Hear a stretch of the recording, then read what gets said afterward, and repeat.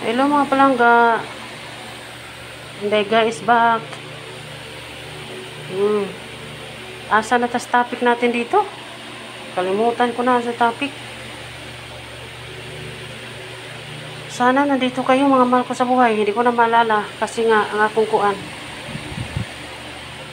Ngot-ngot ni akong barikos mga palangga. Pagsubag tindog. Maga pagkukutindog. Lakaw-lakaw sa palengke. Ngitag kaayuhan. Oh, Tia Bibi pala.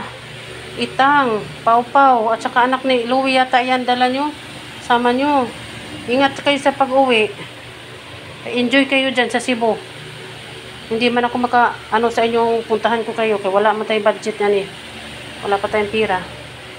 Kita na lang tayo, Tia Bibi, sa birthday ni Lola Aning. Kung sakali man, makabalik ka, tagaan mo yung lawas sa ginoo.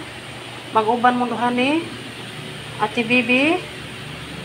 Ah, tawag sa TV pangalan. Rosalia Ruhas Lorito. Mag-uban mo duha tiya. Para makita tang tulo dire.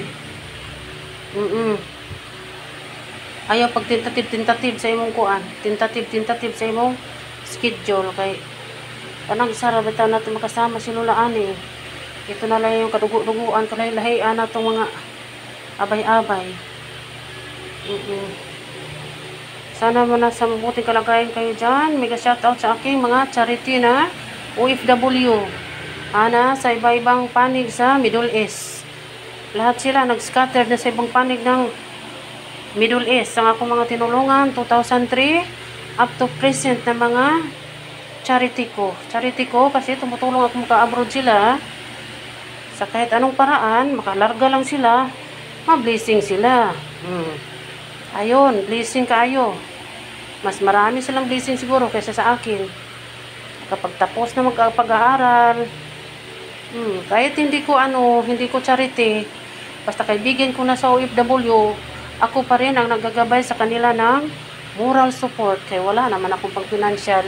Hanggang moral lang ito si Indayga, hanggang sa makauwi sila o at the end of our life, nandito lang ako para sa inyo.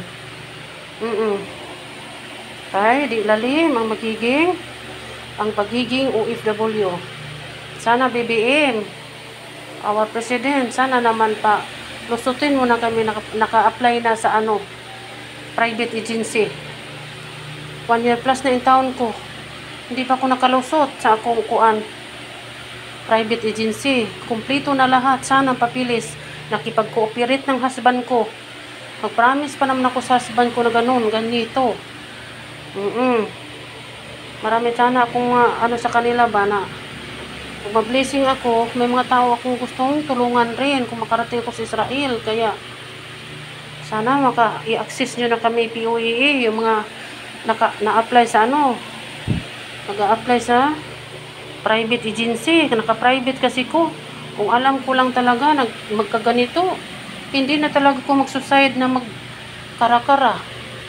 Magkarakara o sana apply may tao pa akong nadamay dito na ano akong giutangan dito sa Manila dako kaayo. Hmm, paano i-blessing pa ako ni ani sa Panginoon?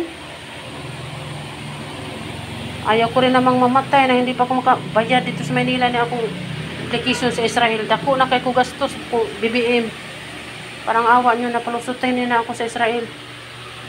Anay may makarinig nito ng mga ano BBM ano mahal sa buhay. Ma, ma, check nyo yung ano ko na palusutin nyo na ako. Mm. Ay, access nyo naman yung agency ko, Kinmore Agency. One year plus na kaming tanong, sagot, tanong, sagot, kung kumusta na yung ano, makalusot na ba? Bakit naman yung tao na pinayagan ng kaganito? Mayroon namang pang local, ang tawag niya na, pang, yung mga pang gobyerno na ano, access, na walang kaya na mapang ano, pang placement fee, yun ang i-process nyo. Ang kanang gusto mag-private agency, pagbigyan nyo sana.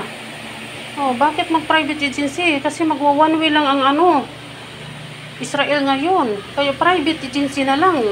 Hindi pa nag-ano ng Israel, nag, uh, yung gobyerno, nagsimula na ako sa, nag-apply na ako sa agency na to. Sa Oman pa ako. Na-recruit na ako sa sa uma na ano, sponsor ko. O sana naman palusutin nyo na ako.